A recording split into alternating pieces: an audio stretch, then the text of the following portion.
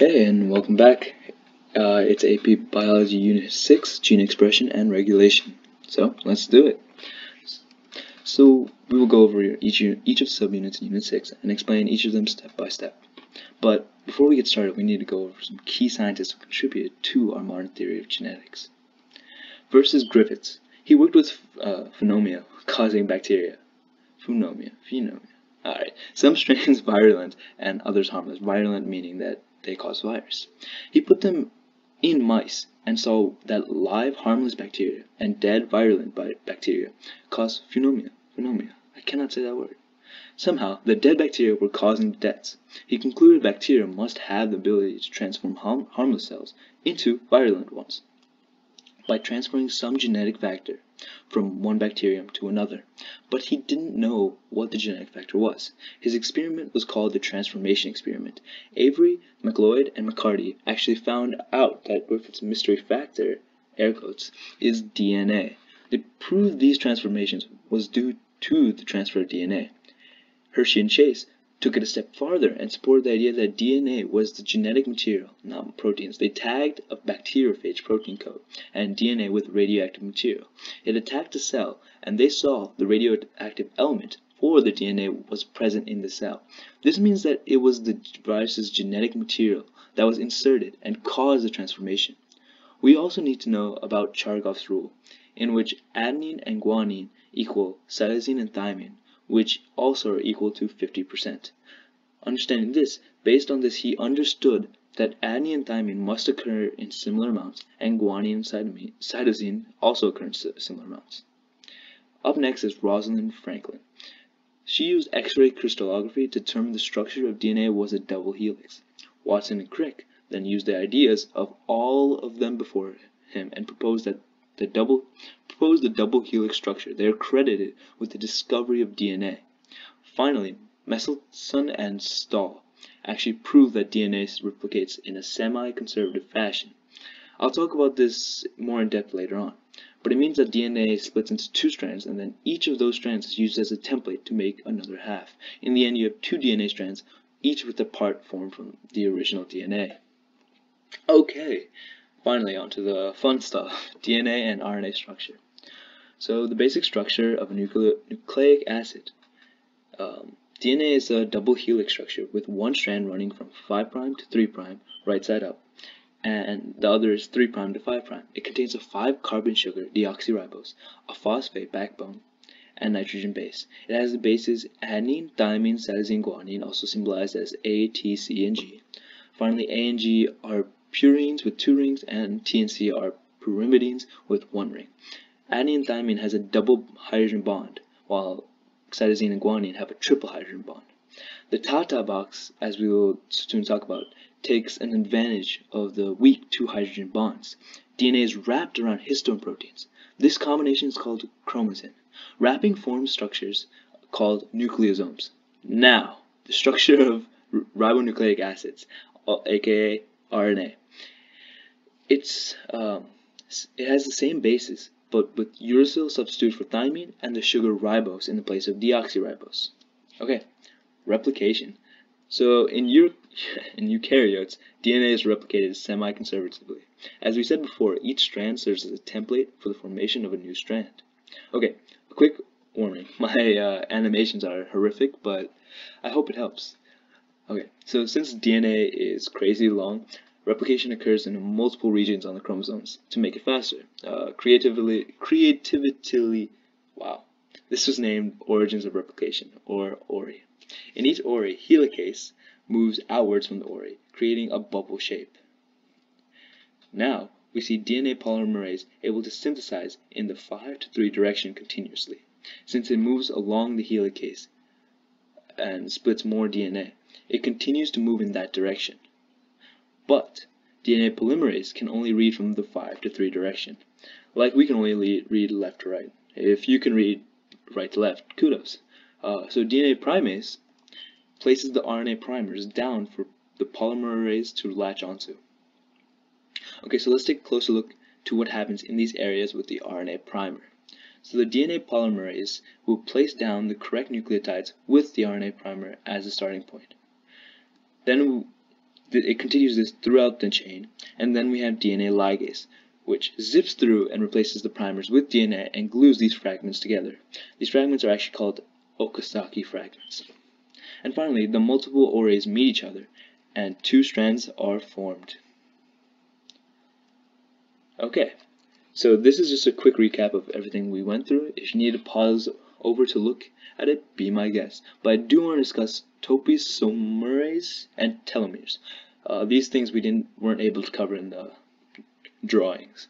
Uh, topoisomerase lessens tensions on the tightly wound DNA by breaking, swiveling, and then rejoining DNA strands. And telomerase are protective ends. DNA loses its ends every time it replicates, and to make sure that these ends aren't um, needed DNA or co coding DNA, the telomeres protect the ends. Okay, so on to transcription and RNA processing. Transcription has three major parts, initiation, elongation, and termination. Let me skip through this and look at this first. Alright, so initiation, elongation, termination. In initi initiation, RNA polymerase recognizes and binds to DNA at the promoter region. This is the region that tells RNA polymerase where to begin and which strand, to transcribe. Transcription factors recognize key areas within the promoter. The Tata box, uh, like we said earlier, Tata box uh, it's due to the repeating TNAs, which on, with only two hydrogen bonds. So two hydrogen bonds are easier to break apart. This also leads to more mutations within those, but I ain't get ahead of myself. and it mediates the binding of RNA polymerase to DNA. The completely assembled, uh, when it's completely assembled, it's called the transcription initiation complex. DNA transcription of the DNA template begins. Next, in elongation, the RNA polymerase adds nucleotides to the three end of the growing chain. RNA polymerase pries two strands of DNA apart and attaches the RNA nucleotide. The DNA transcribed is the transcription unit, each consisting of a triplet base pairs called codons. Last is termination, and um, this is when RNA polymerase transcribes the termination sequence of codons where mRNA is cut free from the DNA template. Okay, that was a lot of words. I do not think we would have got any of those. So let's look at this really closely. So you see RNA polymerase, and then attached to it are those little colorful dots called the transcription factors. Together, they're the transcription initiation complex. And then we see there is the Tata box. Let me get my marker out. Here's the Tata box, so the RNA polymerase will actually bind to the Tata box and then continue along the DNA strand, splitting the DNA in half and having RNA come off of it. And then again, it will continue to go in this direction, splitting apart more, and it will start closing off the DNA in this direction. And that's basically what you need to know. This is just a lot of words for no reason. okay, so now is RNA processing. Um, so before RNA can actually leave the nucleus, it must be processed so it will work properly. A 5 cap is added. It consists of a modified guanine nucleotide added to the 5 end. It also helps RNA strands to bind to ribosomes during the translation process. A poly A tail is added as well. This is a string of adenine added to the 3 end and protects the RNA from degradation by enzymes. And it facilitates the release from the nucleus into the cytoplasm. Introns, which are non-coding regions in DNA, are cut out by SNR, SNRNPs, SNRPs, small nuclear, nuclear ribonucleoproteins, and spliceosomes. Consensus, consensus sequences are boundaries between introns and extrons. They are bound by SNRPs. Spliceosomes form around consensus and cuts introns and joins the remaining exons. Okay, so we did transcription. Now it's on to translation the formation, the taking RNA and turning it into protein. So here we go. So here are some images I'm going to be referring to. All are important. In the top left, we see a codon chart. Codons are based on pairs of three bases. So to use the codon chart for, let's say, GUA, we start in the middle circle, find G, then move out to U, and then finally A. We see this coding for valine, for val or valine. Some, something interesting to note is that GUG, GUC, and GUU also code for valine. There's redundancy, redundancy in the code. Remember, there's only 20 amino acids, so this allows um, lots of redundancy to occur because there's over 60 combinations with just three, or what do you call it, three codons. and each codon has four options, A, T, C, and G. So next in the bottom right is a ribosome. Uh, the ribosome is made up of um, bottom left, I think. Yeah, bottom left. okay, so the ribosome is made up of a small subunit and a large subunit. The subunit grabs onto RNA and pushes it through. The large unit has EPA sites. It moves um, the transcription RNA moves through the sites in succession. The large blue bent cylinder is tRNA. tRNA. The tRNA is attached to a protein. So, for example, this one is attached to methionine. Uh, on the bottom, it has anticodons. Anticodons bind to their opposite on the RNA. So the codons on the RNA bind to the anticodons on the tRNA. Then, as new tRNA come along, they add more proteins to the polypeptide chain, which becomes longer, and then finally translate it's translating finally translating the mRNA. The picture on the right. Oh, before we get there, um, it the protein chain will actually end when a stop codon forms. And you can see the top left again. All the stop signs, when those codons appear, the translation of the protein will be stopped. Okay, finally, uh, the picture on the right is of a tRNA, and all you need to pay attention to is the amino acid attachment site at the top, and, so right here, and the RNA anticodon at the bottom. Whew. So just a few more things we need to cover. So GTP powers the process and enzymes join the tRNA to its specific amino acids. AUG is a start codon and codes for methionine, while UAA, UGA, and UAG are stop codons. Some tRNA can recognize two plus different codons. This is called wobble. Okay, so the stages for translation are, inici are initiation. It begins when mRNA attaches to subunit and the start codon AUG is coded. In elongation, tRNA brings amino acids to ribosome and forms a polypeptide chain. And finally, in termination, where the mRNA strand is completed and the ribosome reaches one of the three termination or stop codons. Release factor breaks bonds between tRNA and last amino acids. mRNA is broken down. Okay. In particular, uh, when we're looking at regulation of gene, we'll be looking at the operon. As to the best of our knowledge, uh, it's the way we understand gene regulation. We'll first go over parts of the operon. First is the promoter, which is the nucleotide sequence in the DNA of a gene that is the binding site of RNA polymerase. It positions the polymerase to transcribe RNA. Next is the operator, which is a sequence of nucleotides near the start of the operon to which a repressor can attach. The binding of a repressor prevents RNA polymerase attachment. The repressor is the protein that inhibits gene transcription. Next is the regulatory gene, which is a gene coding for a repressor that has its own promoter. Okay, so here's a repressible operon. In this case, the inhibitor stops translation from occurring. When there's a lack of tryptophan in the surrounding, there will be none to repress the operator, allowing for the production of TRP molecules. And this goes through it. And basically, these TRP molecules would eventually bond back to the operator, causing the operator to go back and stop production.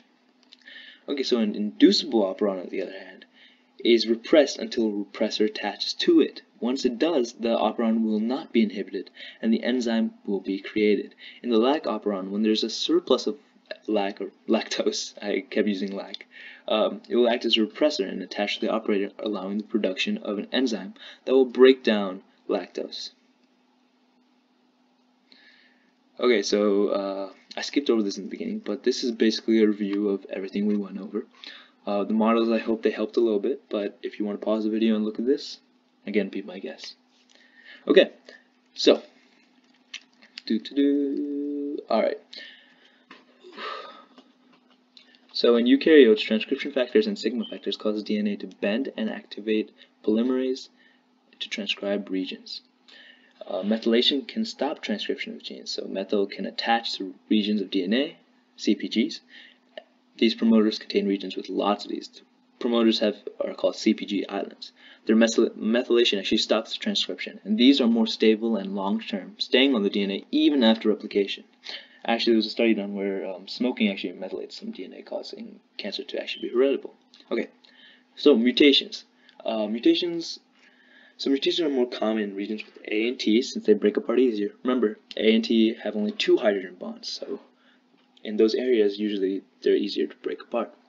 A point mutation occurs when one base is swapped. A common example is sickle cell anemia, which is a substitution of valine for glutamine, and some don't do anything due to the redundancy in a code. An insertion, insertion or deletion causes a frame shift, where everything moves to left or right, as in the example. Um, hey man turns into whatever that is. Um, and then um, as a nucleotide is inserted, it ruins the three codon re reading pattern for everything after that. And then a silent mutation has no effect. Usually the codon that mutated codes for the same protein due to redundancy. A missense swap for a new amino is a swap for a new amino acid, and a nonsense swap causes the appearance of a stop codon, stopping the transcription. Whew, biotechnology. Okay, so recombinant DNA means taking DNA from two or more sources and then combining them into one.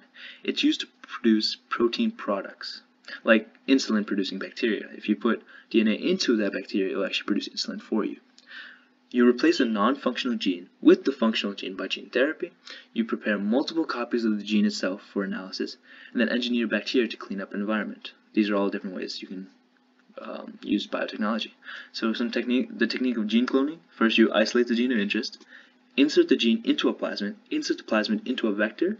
The cell will carry the plasmid like bacterium. Must, you must make it competent first.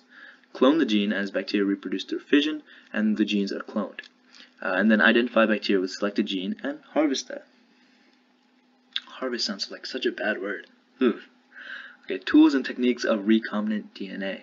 So first we use restriction enzymes, which were discovered in the 1960s. They, are, they identify and cut out specific recognition sequences or sites. Staggered cuts called sticky ends, which form union with other ends. Gel electrophoresis, like shown in the picture, separates large molecules of DNA based on movement through agarose gel. Smaller pieces move fastest, farthest from the wells at the top. DNA probe is a radioactively labeled single-stranded nucleic acid molecule used to tag a specific sequence. Uh, PCR, polymerase chain reaction, allows you to rapidly produce lots of copies of DNA by placing the DNA piece with Taq polymerase with nucleotides and primer needed, and it'll work together to actually create that lots of copies. Some limitations though, info must you must know a lot about the DNA before doing this. It only works for shorter pieces, and then contamination is a major problem. Any piece of your own DNA or skin cells will actually ruin this. And then restriction fragment, fragment length polymorphism, RFLPs, is junk DNA occurred in patterns that are unique to each person. They form a barcode that can kind of be used to um, figure out paternity tests in criminal cases. Finally, complementary DNA. cDNA is made using reverse transcriptase to take out introns and insert into bacteria. Whew, that was a mouthful. Alright, thank you guys for watching. I hope you liked it, and if you found it helpful, please subscribe and leave a like. Thanks again. Good luck on your test.